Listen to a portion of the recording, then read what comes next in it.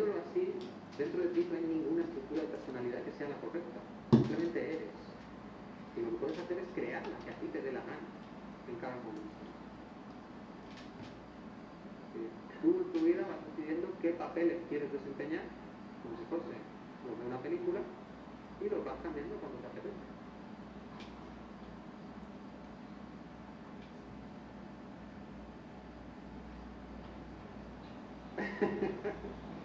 Esto es lo que tienen las hipótesis. Una cosa es que tengas claro intelectualmente más o menos argumentado un proceso y sepas hasta dónde puedes llegar. Y otra cosa es cuánto te va a costar resetear todas tus redes neuronales. Porque para resetear una red, lo primero que tienes que hacer es activarla. Luego, hasta que no conozcas todos tus patrones interiores y los desactives, no vas a tener el cambio completo. Pero sí vas haciendo cambios pasados. Y vas, si vas actuando sobre lo que más te preocupa en cada momento, pues cada vez estás mejor, te sientes mejor.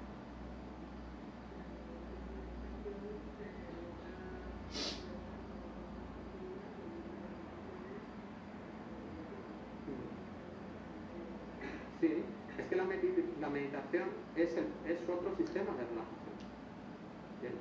Entonces, en la meditación tú estás activando esas redes y estás permitiendo que se descargue la emoción, estás reseteando la red. Claro. Exacto. Eh, comprendes porque al cambiar la estructura emocional, tus pensamientos automáticamente tienen que ser otros. Por eso comprendes en ese momento. Pero hasta que no sueltas la estructura emocional, el pensamiento sigue un camino, una justificación.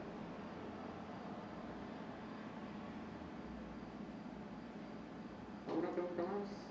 ¿Debate? ¿Algo? ¿No? Se ha dejado pensado, ¿no? Bueno, lo que estoy ofertando aquí es un sistema de cambio integral.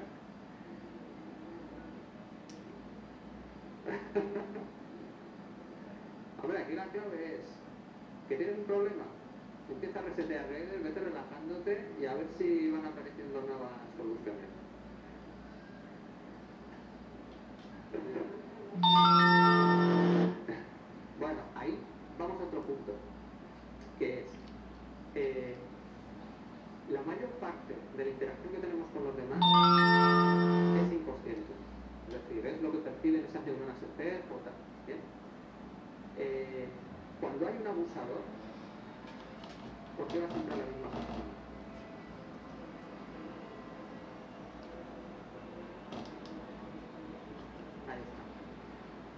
Encuentra un patrón en esa persona que encaja con el suyo.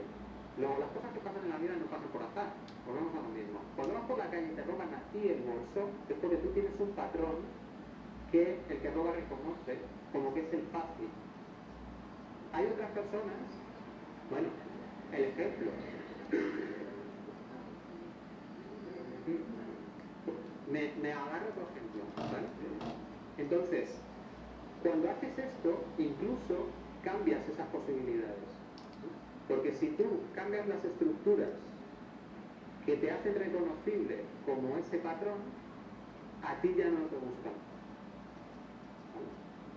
Entonces, no es que simplemente este es mejor aunque me roben el bolso. No, no, es que a mí ya no me roban el bolso. ¿Eh? Sí, pero es un ejemplo clave. Es un ejemplo clave.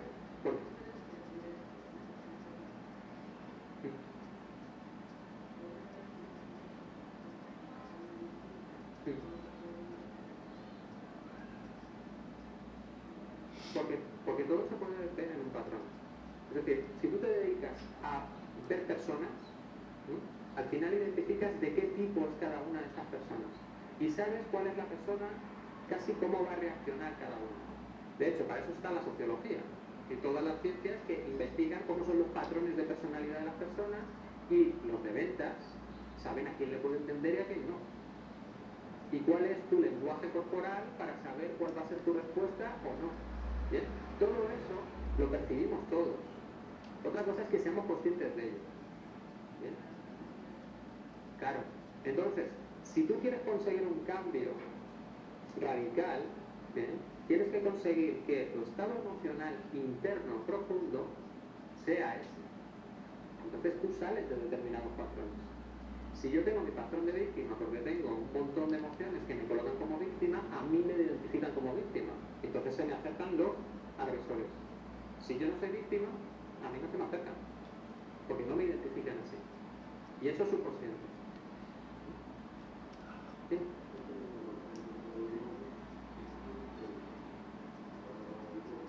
Sí.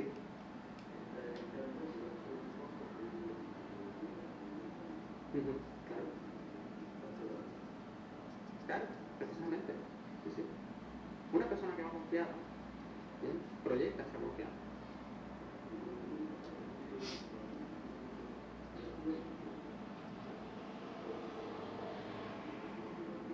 Sí.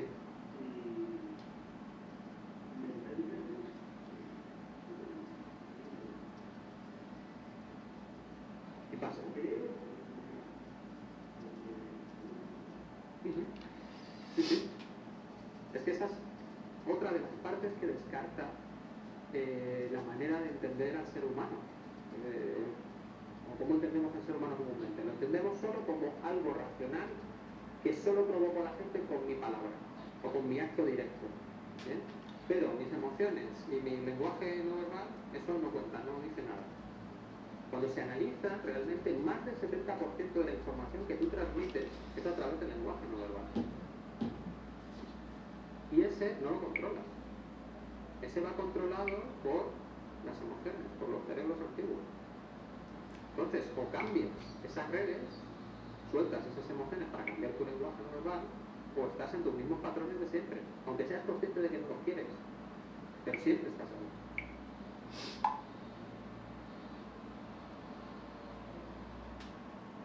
A ver, realmente es muy simple, pero, pero como nuestro cerebro se niega a reconocer cualquier cosa nueva porque nos pone en inseguridad, lo vemos complicado.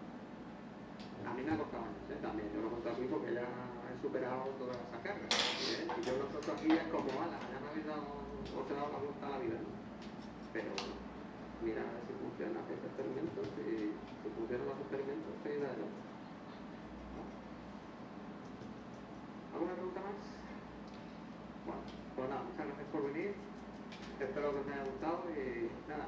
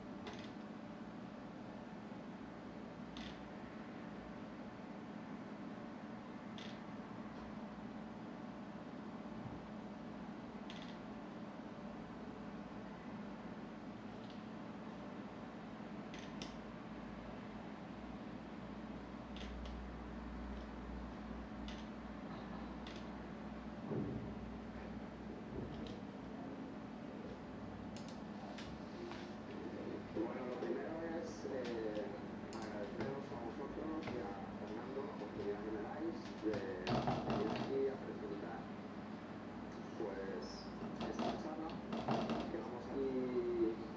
La verdad que me alegra mucho de tener esta oportunidad porque para la educación de las personas, de los chavales, eh, la parte emocional siempre ha estado como no tenía en cuenta. ¿sí? Y veremos hoy y el próximo día que precisamente la parte emocional es la parte fundamental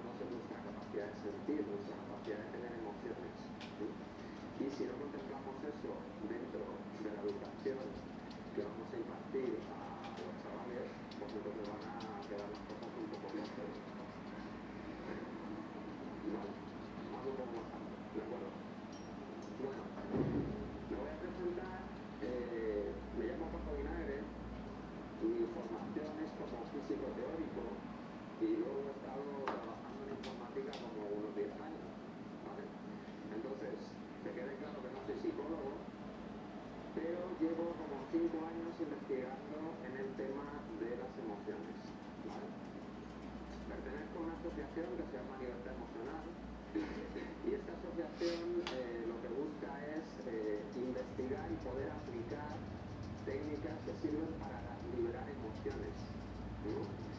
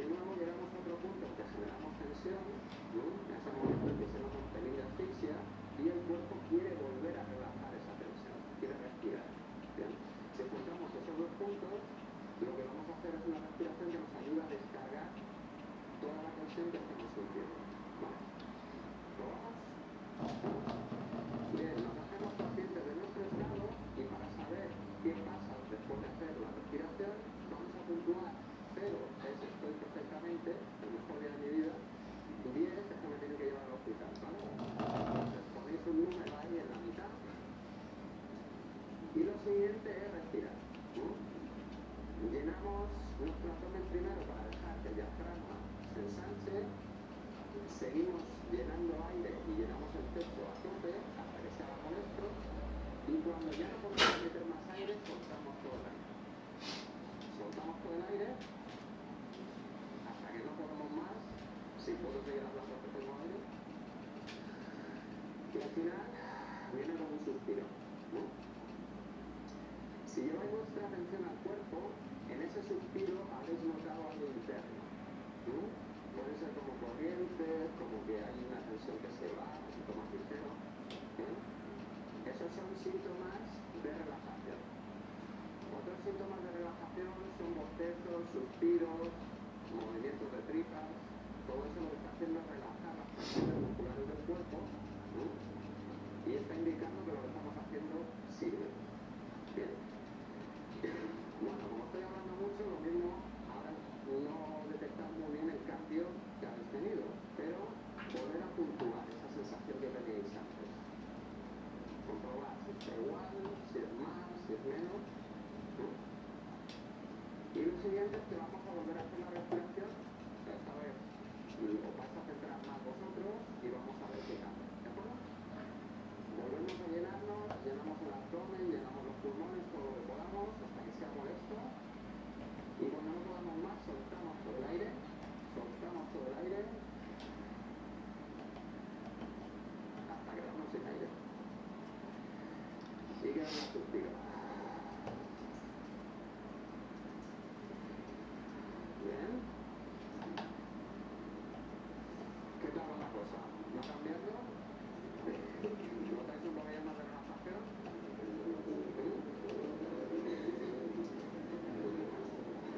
Bueno, este tipo de ejercicios que son así de simples, por ejemplo, los emplea mi madre que trabaja como profesora, que ya tiene su montón de años, ¿no? y me comenta que cuando lo emplea dice que pues esa, esa clase que tiene las respiraciones, de hacer cinco respiraciones, es decir, cinco minutos de relajación, lo que consigue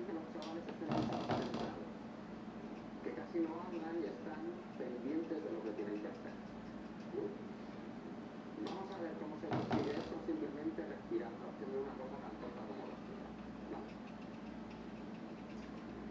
Bueno, pues antes de nada, lo que yo voy a contar hoy realmente no es nada nuevo, yo no he inventado nada. ¿no? Yo lo que he hecho ha sido eh, investigar sobre lo que han escrito otras personas. Bien.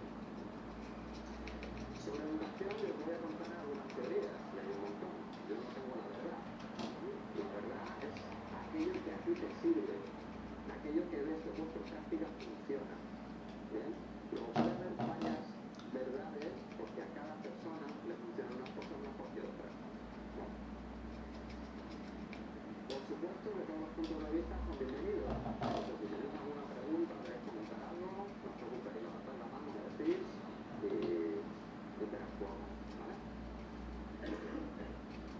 Supongo que algunos de vosotros también habéis trabajado con técnicas de relajación, ya sabes que te explican cuando te explican técnicas de estudio, o si habéis hecho yoga, o si hacéis deporte, alguna técnica de relajación para centraros, ¿vale? Todas esas técnicas valen, no es que unas sean mejores que otras. Todo lo que se base en relajar el cuerpo va a tener el mismo efecto. ¿sí? Y lo que realmente va a diferenciar un poco esta charla de otras que hayáis, que escuchado es el enfoque. El enfoque y las implicaciones. Os voy a explicar eh, si somos capaces de liberar esas emociones. Bueno. Punto de partida. Estamos hablando de educación emocional. Bien. Esa educación emocional es un término que suena desde hace poco tiempo. Antes lo que teníamos era un paradigma educativo racional. Bien. Que del pienso luego existo. Los pensamientos son lo más importante. ¿sí? Los pensamientos generan las emociones. Luego, de mis pensamientos yo puedo controlar mis emociones, puedo controlar mi comportamiento. ¿Sí? ¿Os suena? Sí. No. Por tanto, la educación para lo que sirve es para formar mentes. Queremos formar esa racionalidad, porque si logramos inducir o induir esa racionalidad en las mentes de los chavales, al final van a ser personas como deben ser. Nunca van a ser capaces de controlarse. Por tanto, en la educación tenemos que enseñar esa disciplina, ¿no? Tenemos que saber cómo controlar esos pensamientos para poder controlar mis emociones y por tanto controlar mi comportamiento. ¿Qué eh, más elementos tiene este paradigma educativo racional? Que nos dice que el aprendizaje se hace por repetición. Hay que repetir las veces que sean necesarias para acabar de integrar ese nuevo conocimiento o esa nueva habilidad. ¿Bien? ¿Cuántas veces? Depende de la persona. Pero lo único que hay que hacer es esforzarse y ser constante, porque llegará un momento en que lo consigas. Por tanto, este sistema se basa muchísimo en la fuerza de voluntad. Simplemente hay que seguir intentándolo una y otra vez. Y esa fuerza de voluntad se puede ejercitar. Y para eso están los para poner deberes y conseguir que los chavales estudien. ¿No?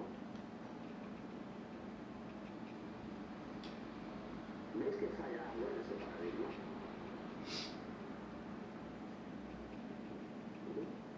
¿A vosotros os han educado así o ya os han educado de una manera totalmente diferente? A mí en mis tiempos, hace 20 años o 30, la educación era esa. Tú llegabas, te sentabas, te contaban un montón de conocimientos, ¿no?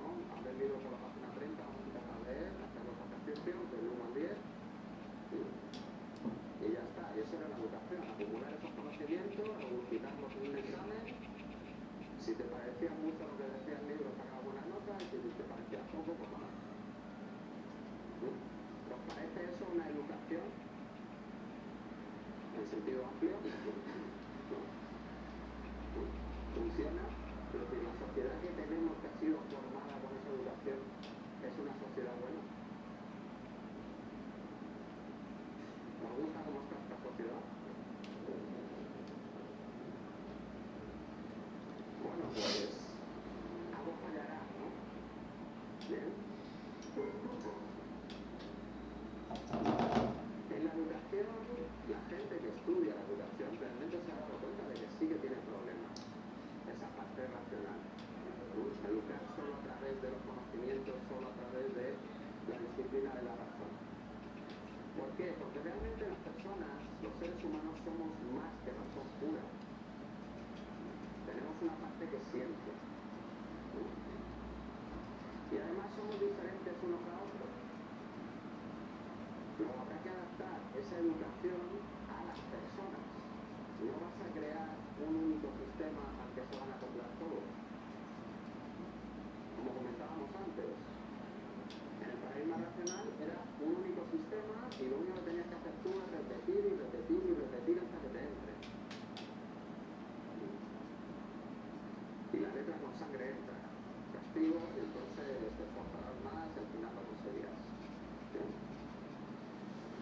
Pues lo que se empieza a investigar sobre este sistema, lo que nos va diciendo es que las personas tenemos diferentes actitudes, somos capaces de hacer diferentes cosas. Y algunos pues servimos más para, para unos temas y otros más para otros. Luego la educación puede ser que lo ideal sea que esté especializada para cada uno y que cada uno pueda dar su mayor potencial. Entonces, el objetivo de este tipo de educación es potenciar la capacidad de pensar,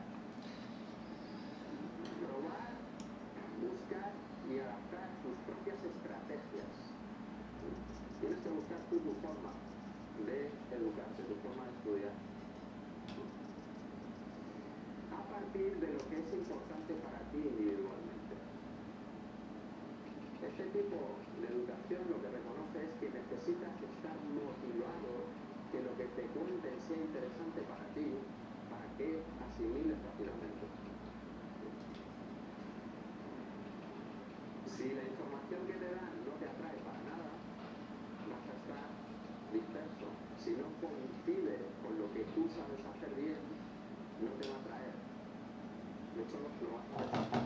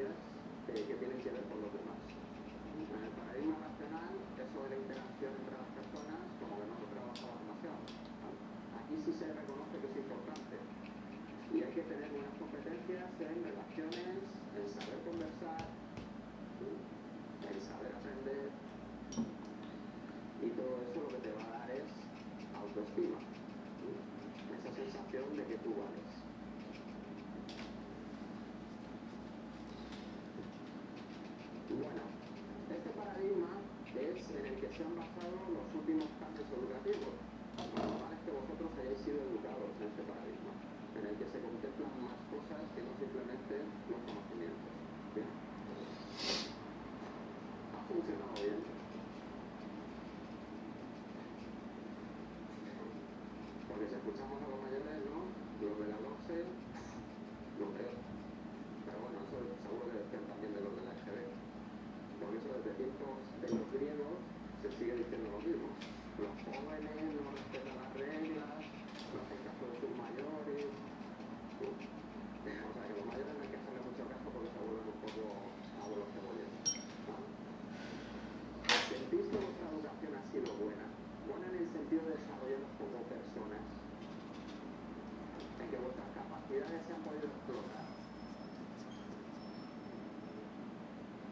sentirse, ¿no? Por lo que habéis ofrecido. No. Bueno, pues el siguiente salto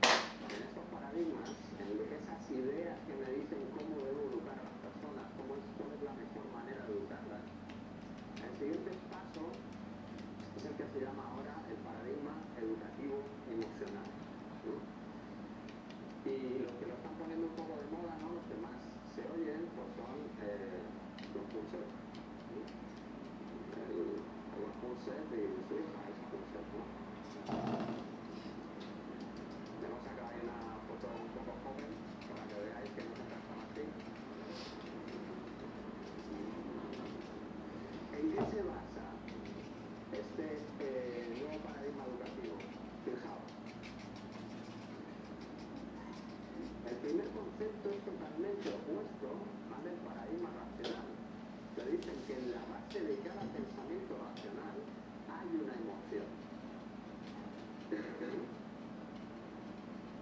Y una persona no puede estar emocionalmente mal y tomar buenas decisiones. Por tanto, si no educo mis emociones, no voy a pensar de la mejor manera.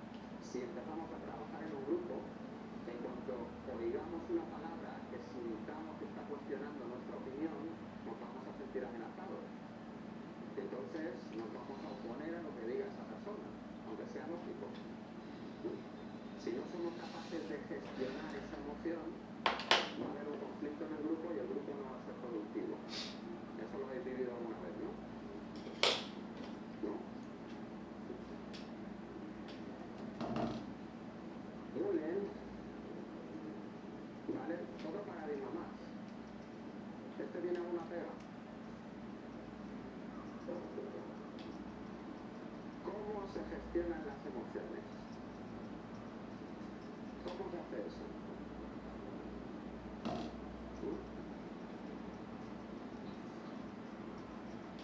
¿Vale? Lo están diciendo cuál es el objetivo, perfecto. ¿cómo llego hasta ahí? O sea, que hemos dado avances, pero seguimos con el mismo problema. Si no me explico cómo hacer las cosas, difícilmente voy a conseguirlo. Bueno, pues esa pregunta podemos intentar resolverla si entendemos cómo funcionamos realmente, cómo funciona una persona. Y lo primero puede ser eh, ver un poquito el trabajo de Daniel Goleman, que es el que publicó en 1995 el libro Inteligencia Emocional, que era como un cambio radical en ese paradigma racional que teníamos entonces. Este hombre parte de- del hecho de que las personas con alto coeficiente intelectual no son las más exitosas. Una persona puede triunfar en el mundo y no ser el cerebro del mayor cerebro. Bien, pueden ser inteligentes, pero no tienen por qué ser las, las más inteligentes. Luego, ¿por qué falla eso? ¿No? ¿Vale? ¿Qué conclusión obtuvo Goleman? Pues se dio cuenta de que hay más de una inteligencia. Que la inteligencia racional no es lo único importante para la vida. Hay más. Y una de ellas es la inteligencia emocional. Tienes que poder emplear inteligentemente tus emociones para conseguir el éxito en la vida. Para ser feliz, vamos. Y las personas que tienen esa inteligencia emocional también tienen esas capacidades. Son capaces de percibir las emociones con precisión. Se dan cuenta de qué están sintiendo. Y una vez te, te das cuenta de qué estás sintiendo, también puedes saber qué sienten los demás. Te vuelves empático. ¿Sí? Porque en una relación, si no te estás dando cuenta de que estás aburriendo a la persona que tienes delante, sigues contando la misma historia. Y si lo que estás haciendo es una venta, difícilmente vas a venderle nada a esa persona. Si yo dando una clase os miro la cara y no identifico qué emociones tenéis, no adapto mis palabras o busco otras eh, anécdotas para interesaros. Siempre estaría contando el mismo rollo porque vuestras caras claras. ¿Qué más capacidades tiene una persona con inteligencia emocional? Es capaz de controlar sus emociones. No se deja llevar por ellas. También es capaz de motivarse. Siente que puede hacer las cosas. Y es optimista. Cuando se pone un objetivo, siente que puede realizarlo. Y por último, esas personas son capaces de establecer relaciones. Porque son capaces de expresar su emoción y son capaces de captar la emoción de los demás. Tienen una buena comunicación.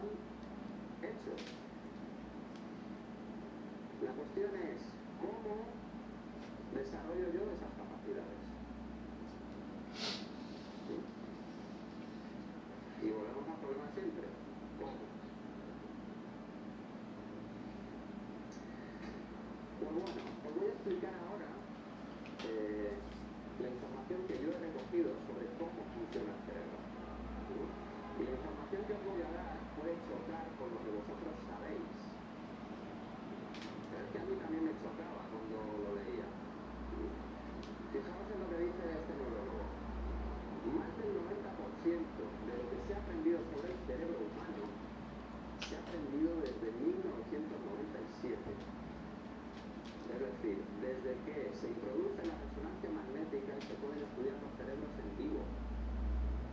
Antes todo eran suposiciones, porque no le abrías a la cabeza para ver cómo le estaba funcionando. Si además es de 1997, a los libros de texto los conocimientos llegan como 20 años después. Lo normal es que vosotros tampoco tengáis la información que yo os voy a dar.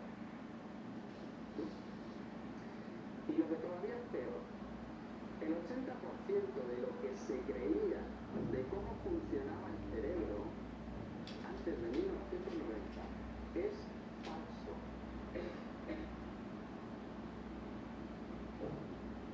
Luego, si el 80% era falso, las teorías que se desarrollaran sobre educación con esos conocimientos falsos, digo yo que no serán las óptimas.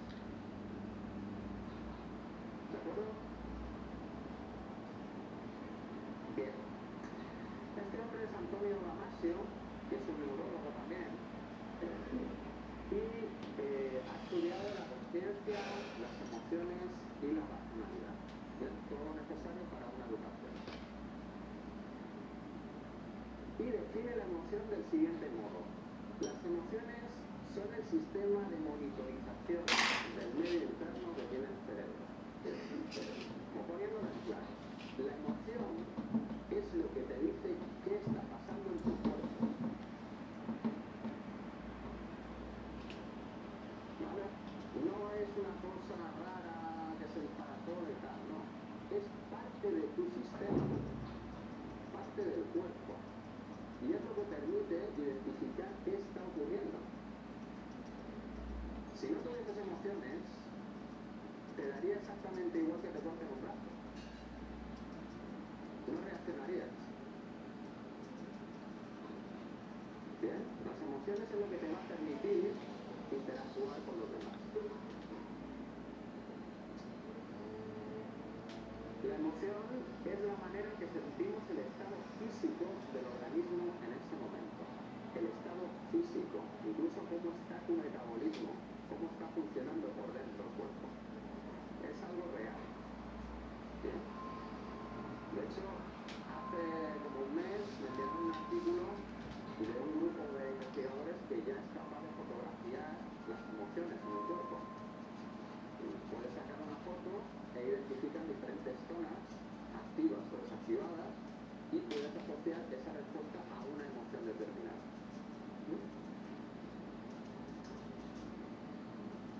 diccionario nos dice que la emoción es indispensable en el funcionamiento del cerebro. La emoción va a ser como el sistema de alerta del cerebro, es lo que le va a decir al cerebro si lo que está ocurriendo es importante o no. Si la emoción es intensa es importante, si es baja no es importante. Y es indisociable de la razón racionalidad siempre se oculta con la emoción. No puede haber razón sin emoción. De hecho, los